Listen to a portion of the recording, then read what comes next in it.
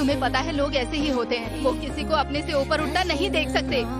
इसीलिए वो उसे कुचल देते हैं। ऐसी दुनिया से, और तुम कह रही हो, इनसे मुझे तुम बचाओगी। मैं- मैं तो तुम्हें पता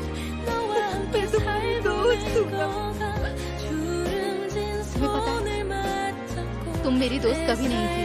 अगर इस वक्त तुम मेरे सामने मर गई ना तो मेरी आँख से आँसू का एक बूंद नहीं गिरेगा। मुझे कोई फ़र्क नहीं पड़ता।